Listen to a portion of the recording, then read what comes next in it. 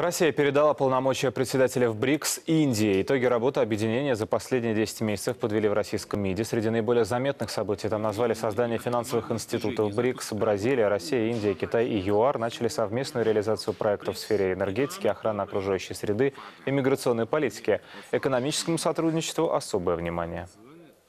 БРИКС не просто доказала свою востребованность, это сейчас общепризнанная платформа, на которой страны, входящие в объединение, отрабатывают наиболее актуальные международные вопросы. Мы против градации государств на ведущих, ведомых, старших, младших партнеров. Мы, конечно же, исключаем в БРИКС э, казарменную дисциплину, то, что свойственно военно-политическим союзам, и в какой-то мере стало свойственно трансатлантическим отношениям, потому что несамостоятельность Евросоюза по крайней мере, на российском направлении для нас совершенно очевидно.